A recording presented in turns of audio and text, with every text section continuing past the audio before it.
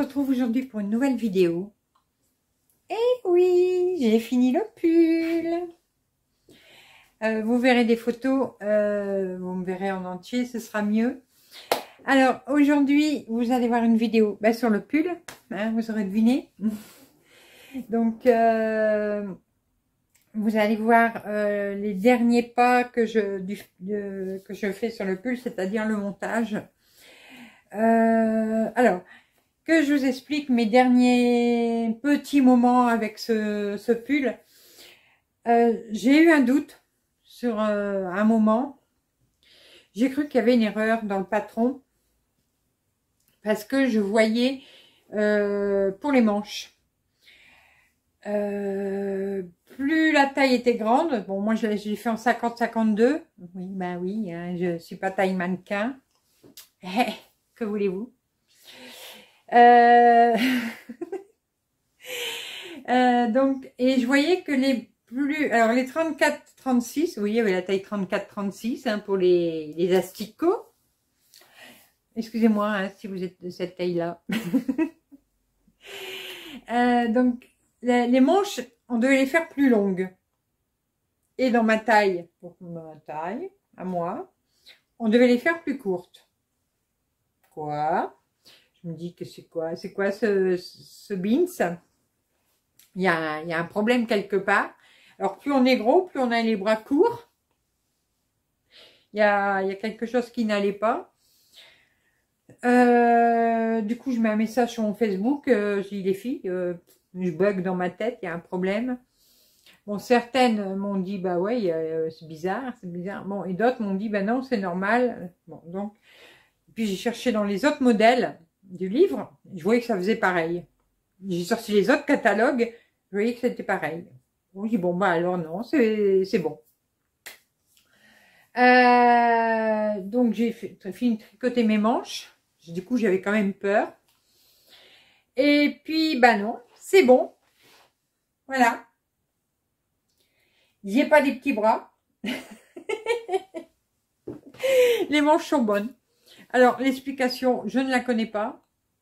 Euh, là, c'est des manches tombantes, des épaules tombantes sur ce pull. Euh, donc, c'est peut-être ça l'explication. Je ne sais pas. Là, euh, mystère et boule de gomme. Donc, j'ai fait comme il était marqué dans le livre. Hein. et puis, bah, ça a été, hein, vous voyez, la manche bien pas trop longue, elle juste euh, au niveau arrivée à la main. Du coup, j'avais peur. J'ai quand même tricoté une paire de rangs en plus. Puis après, je dis bah non, parce que si j'en fais plus qu'il en fallait pas, puis que je me retrouve avec une manche trop longue. Alors, euh, j'étais...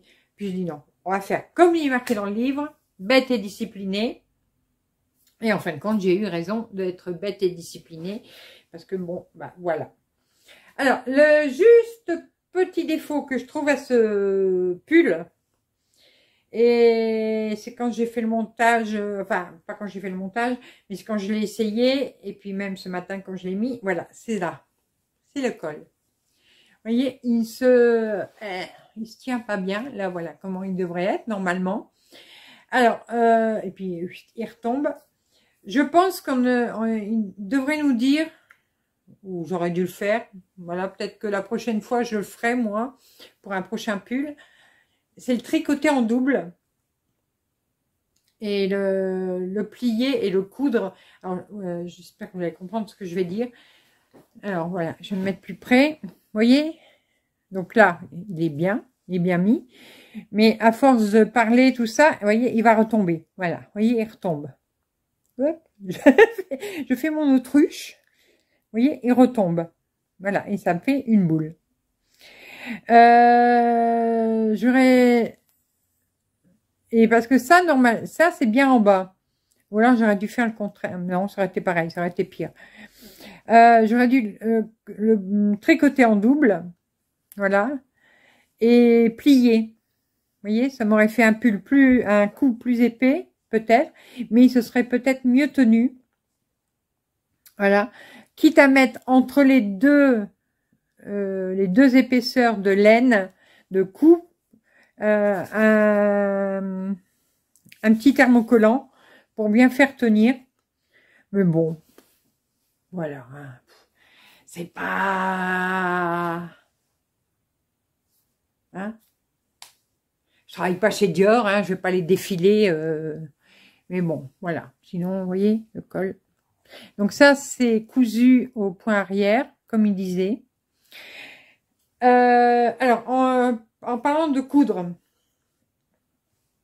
euh, j'ai commencé par quoi? Ah oui, j'ai commencé par les épaules, comme il disait. Hein, belle disciplinée.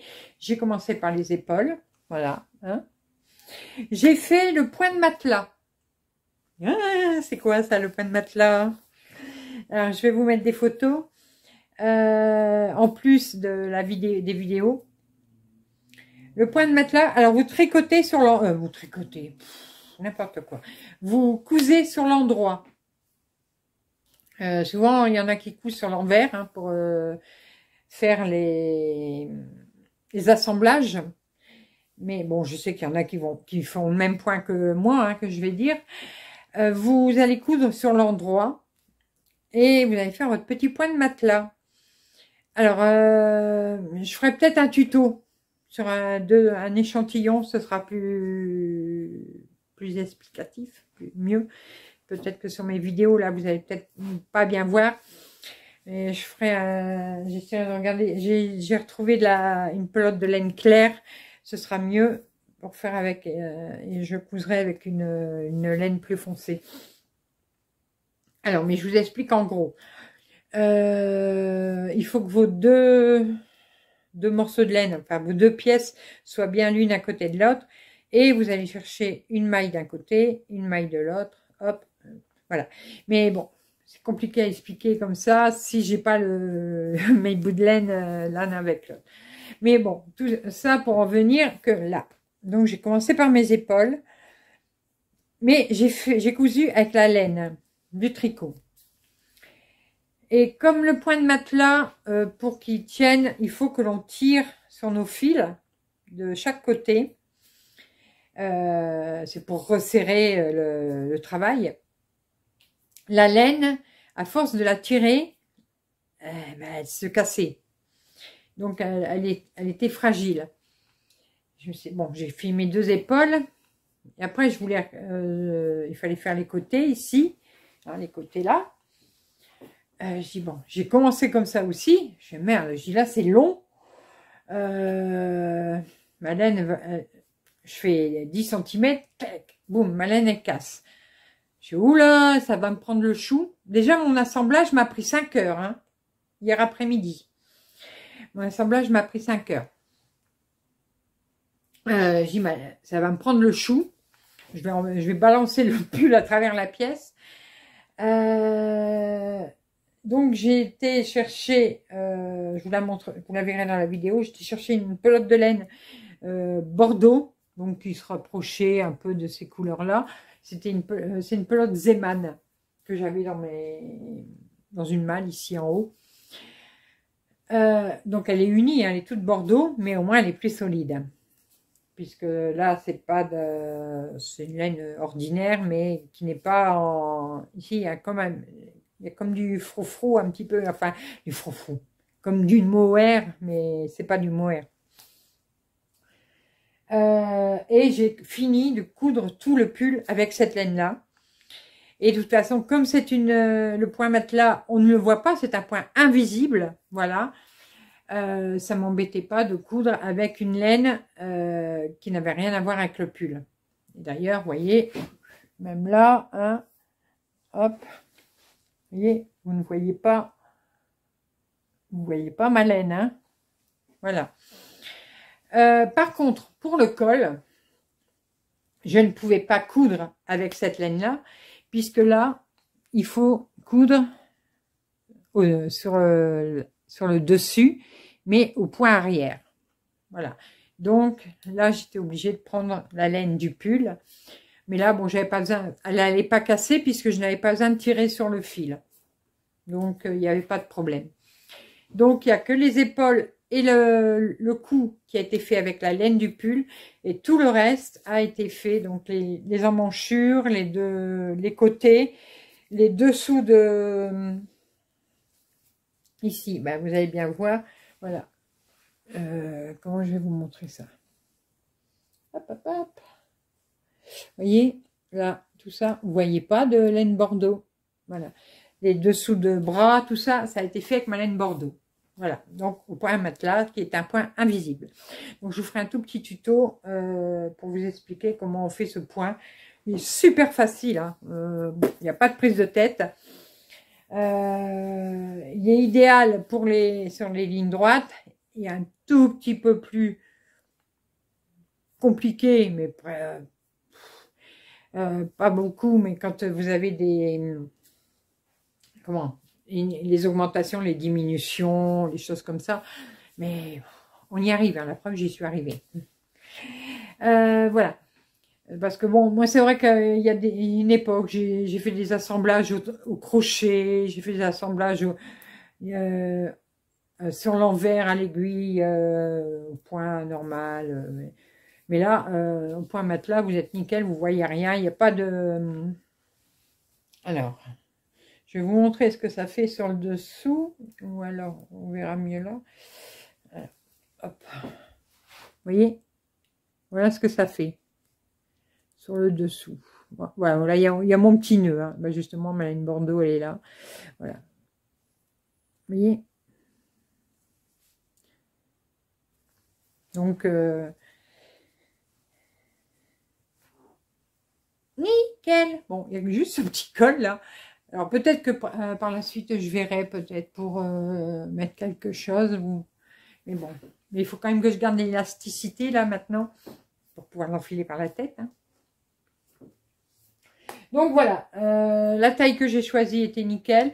J'avais hésité entre le 46-48 et le 50-52, mais en fin de compte, j'ai bien fait de faire 50-52. Hein, je me croyais plus mince. Oui, mais non. Le 50-52 me va bien. Euh, là, j'ai déjà attaqué... Euh, toi, toi, là, Facebook. Là, j'ai déjà attaqué euh, mon nouveau, mon nouvel ouvrage. en attendant d'attaquer un pull pour chouchou. Parce que pour chouchou, j'ai la laine. Mais j'ai pas le modèle. Voilà, je cherche un modèle pour lui. Euh, et comme c'est une, laine qui n'est, une ancienne laine que Fildar vend encore, mais il n'y a plus de modèle pour cette laine-là sur leur catalogue, enfin sur leur site, et même sur leur catalogue. Euh, donc là, je suis en train de chercher un modèle qui sera compatible avec la laine. Voilà, j'espère que je me suis fait comprendre. Mais de toute façon, pour n'importe quel modèle, il va falloir que je recommande quand même un peu de laine. C'est un paquet de 10. Et même pour faire un pull homme, 10, euh, c'est quand même euh, juste, je pense.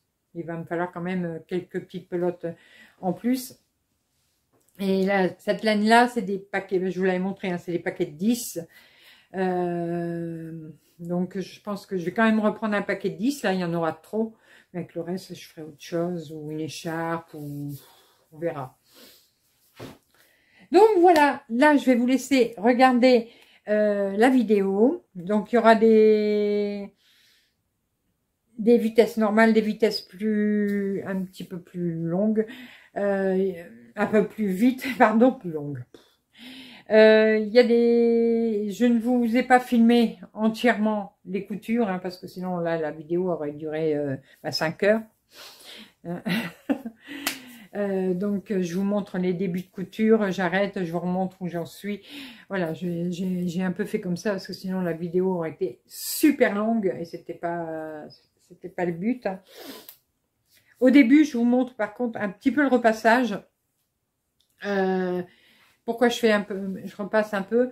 Euh, je repasse mes, mes bords de pièces euh, de tricot parce que ça a l'habitude de boulotter, hein, de rouler les, pièces de tricot. Donc moi je les repasse un peu, je sais pas si vous, faites ça. Euh, moi je les repasse un petit peu euh, au programme lainage hein, avec très légèrement de la vapeur. Mais c'est pour que ça boulotte plus et que puisque comme je fais un point visible, il faut que mes pièces soient l'une à côté de l'autre, c'est plus simple. Euh, donc, euh, vous verrez un petit peu comment je repasse. Alors, avec une pâte mouille, c'est pas une pâte mouille, hein, c'est un torchon vaisselle. Hein, J'ai pas de pâte mouille. c'est un torchon vaisselle propre, hein, que je précise. Mais bon, ça, vous l'auriez deviné. Donc, il y a une petite partie repassage et après, vous avez l'assemblage. Et à la fin, vous aurez la photo avec moi, avec mon pull en entier, avec une sale tranche. Hein, euh, euh, c'était le soir, donc euh, j'ai une tranche, mais alors pas possible. donc voilà. je vous fais maintenant quand même des gros bisous parce que vous, me reverrez, vous ne me reverrez pas à la fin de la vidéo, mais restez quand même jusqu'à la fin pour regarder. Parce que si vous voulez me voir en entier avec le pull, bah, il faut aller à la fin de la vidéo. Et donc, il faut tout regarder. On ne on clique pas hein, comme ça, non. Allez, ça fait 15 minutes que je blablate, là. Et après, bah, vous aurez euh, des vidéos pour euh, le prochain le prochain ouvrage que je fais. Donc là, c'est une veste en mohair, là, cette fois. Euh, qui me perce un peu ses, un petit peu ses poils. Mais bon, c'est normal le mohair, hein, c'est comme ça. Donc là, je crois que je vais tricoter avec une, serviette sur moi pour pas m'en foutre partout. Mais bon, ça, le c'est ça. Hein. Allez, je vous fais les gros poutou poutou. J'espère que cette vidéo vous aura plu. Euh, donc, je vous ferai un tuto pour le point matelas. Voilà, si ça vous intéresse, dites-le moi. Hein. Bon, quand même, mais je suis sûre qu'il y en a certaines qui vont me dire oui, oui, je veux voir.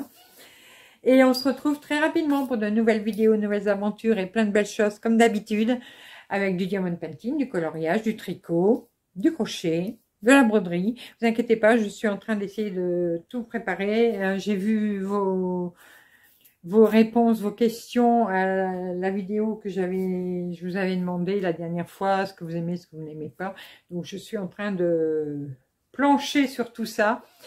Euh, un petit peu à la fois, ça, tout va se remettre en place et ça va être un peu plus régulier. Allez, plein de gros bisous. Maintenant, ça fait 20 minutes que je papote. Je vous laisse visionner le reste de la vidéo et à bientôt. Bon visionnage. Bisous, bisous.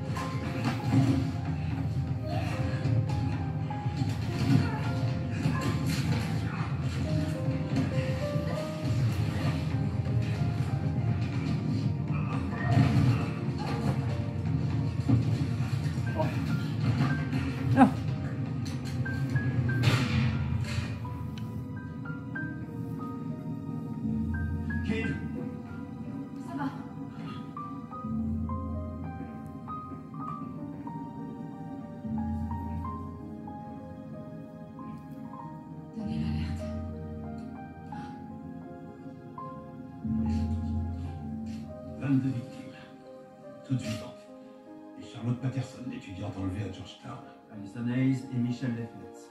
Les a toutes. Sauf Kate Ellison. Vous avez élucidé toutes ces disparitions d'un seul coup. Chacune des mères des 27 enfants qui ont été adoptés a été retrouvée. Monsieur, il y a un laboratoire de fécondation tout équipé. Les ovules des femmes étaient prélevés et fertilisés, puis réimplantés. C'est à la pointe de la recherche génétique. Certains bulletins de patients ont plusieurs années. Nous avons retrouvé Kate Ellison. Je crois que pas le dernier cadavre dans cette enquête. Je me trompe, Michael Nous savons qui vous êtes. Michael Shaw. Adopté à l'âge de 7 ans par Charles et Jill Lassiter, puis renvoyé à la l'assistance 16 mois plus tard. Owen Mallory n'a pas de casier, mais